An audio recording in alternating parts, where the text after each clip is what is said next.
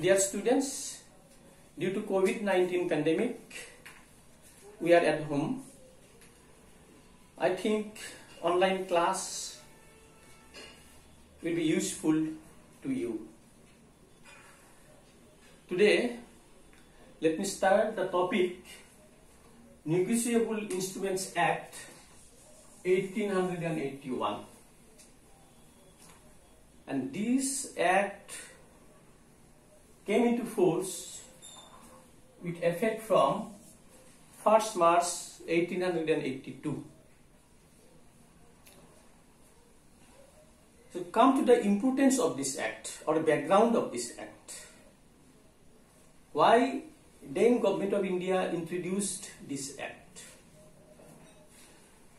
This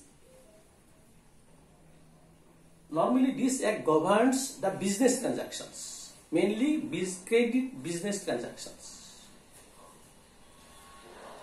So question is, before this act, there were some credit transactions in India.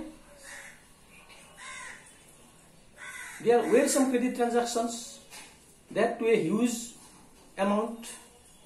How these credit transactions were governed? How these credit transactions were governed?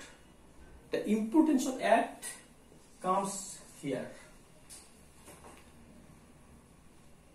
These credit transactions, that means business credit transactions before this act, were governed by hundis. So what is hundi? So hundi is nothing but a traditional bill of exchange. I repeat the word traditional. Hundi is nothing but traditional bill of exchange written in a vernacular language. Vernacular language means Hindi, Bengali, Assamese like this, not in English. So the problem was there was no written rule. Thousands of transactions with huge amount were transacted with the hundis, but there was no written rule. So to solve this problem, that is the problem actually. Lack of rule, it creates many problems. And to solve this problem, Government of India, then Government of India introduced this act. Now come to the, what are the negotiable instruments? We can categorize in two group negotiable instrument as per act, act means negotiable instrument act 1881 and as per custom and use. So for today, we will discuss this part as per act. And for this part, we need another class. So as per act, there are three types of negotiable instruments. Promissory note, bill of exchange and check. Section 4, 5 and 6 respectively. And as per custom or and use, hundis is here again. Share warrant, dividend warrant, bearer debenture, treasury bill, etc. According to the Act, negotiable instrument means promissory note, bill of exchange and check. So after this, you have to know that what are the characteristics of negotiable instruments. Let's come to the main characteristics of negotiable instruments.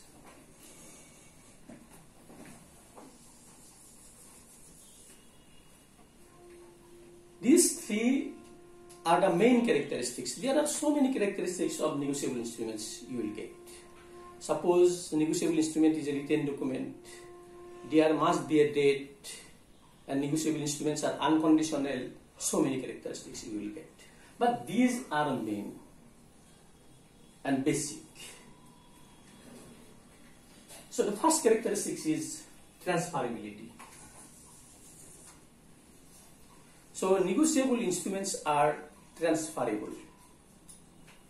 But there are, some rules of transferability. If if the instrument is a bearer instrument, then mere delivery will constitute the transfer. Just to deliver it to somebody else, then he will be the owner of the instrument. If it is bearer instrument. If it is ordered instrument, if it is ordered instrument, to transfer an ordered instrument, it needs endorsement. So again, what is endorsement? For endorsement, we have to discuss in separate class. But the point is, the negotiable instruments are transferable. If it is bearer instrument, mere delivery will constitute the transfer. And if it is ordered instrument, then endorsement and delivery both are necessary. So that will be discussed in separate class. Then come to the negotiable instrument, negotiability, which is very very important characteristics of negotiable instrument. You see here also negotiable, so it is negotiability. So what is negotiability? Most of the students confused this transferability and negotiability. That means what is the difference between transferability and negotiability? So it is important. So transferability means what? Transferability means it involves two parties. One is transferor and another is transferee.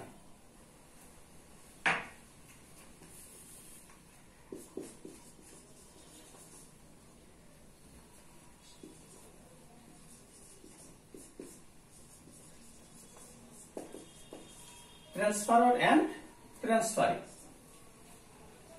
Parties are involved as because negotiable instruments are transferable. So negotiability means the transferee, that means who received the instrument, he will enjoy the better title than the transferor. That means if there is any defect in the previous parties or uh, even the transferor, their defects cannot touch the transferee. In other words, the defects of transferor cannot touch the transferee. Now, when there are some conditions, there are some conditions which are to be fulfilled by transferee, then only he can enjoy the better title than the transferor. So what are those conditions? What conditions to be fulfilled by a transferee to enjoy the better title than the transferor? Number one, he must receive the instrument for value.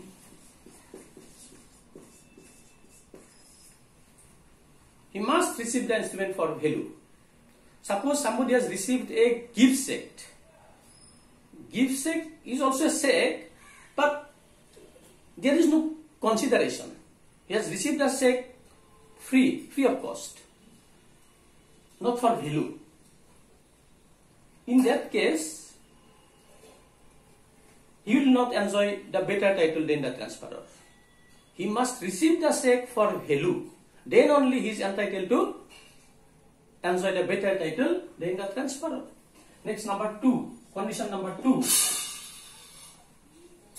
Condition number two, he must receive the instrument for help uh, on good faith. On good faith.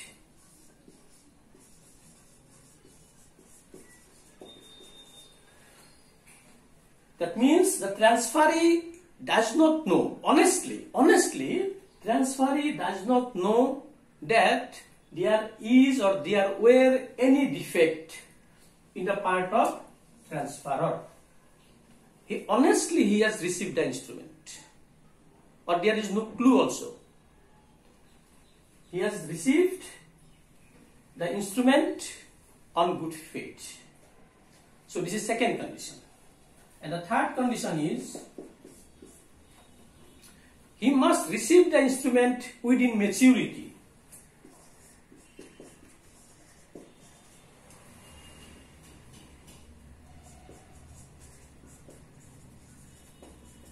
Within maturity. He must receive the instrument within maturity. Normally, a check is valid for three months. Previously, it was six months. Now, as per Reserve Bank guideline, it is three months. He has to receive the instrument within the maturity. So, if a transferee or he may be regarded as payee also satisfies this condition, he will be regarded as holder in due course.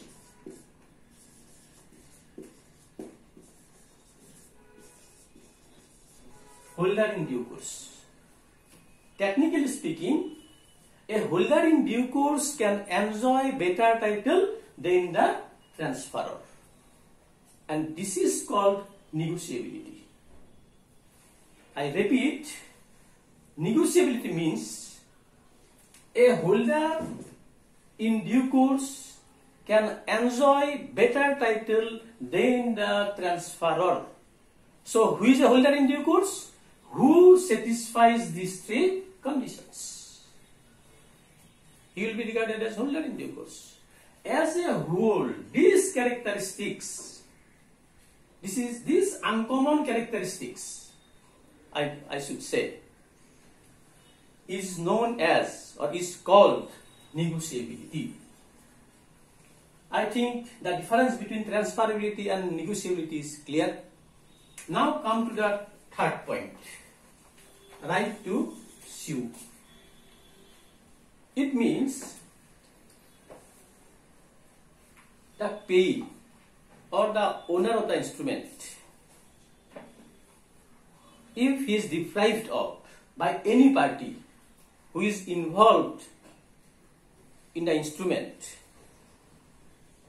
the payee, the owner can file a suit or case against that party due to whom he has been deprived of. That means the payee, the owner of the instrument can file a case against the parties who is responsible for any defects. So this is called right to sue. Normally these cases are finalized by the court under special provisions and as quick as possible. So these are the main characteristics of negotiable instruments. Thank you. See you in the next class.